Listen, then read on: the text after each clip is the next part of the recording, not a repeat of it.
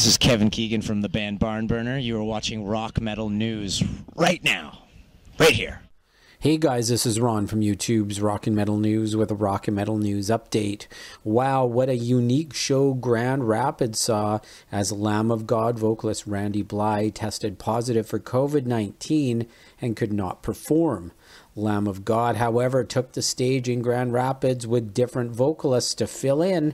They were Chimaira's vocalist Mark Hunter, Trivium's Matt Heafy, and In Flames Anders. They all sang the Lamb of God songs, and there is video now online. Uh, you can check out uh, the links in the description to watch the guys fill in for Randy and what a great job they did. So it was great that the show could carry on.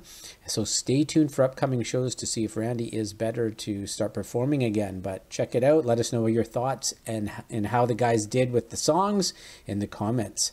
This is Ron from YouTube's Rock and Metal News. Thanks for tuning in.